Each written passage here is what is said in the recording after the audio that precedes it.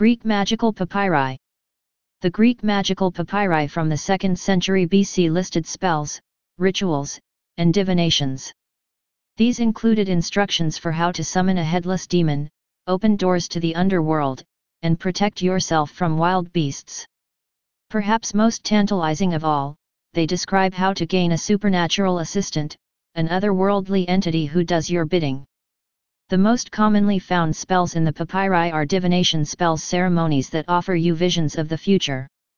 One of its most well-known passages provides instructions for how to forecast upcoming events using an iron lampstead, an offering of frankincense, and an uncorrupted and pure child. After being placed into a deep trance, the child sees images flickering in the flame.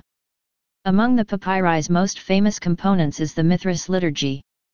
This ceremony describes how to ascend through seven higher planes of existence and communicate with the deity Mithras. Stay paranoid my friends.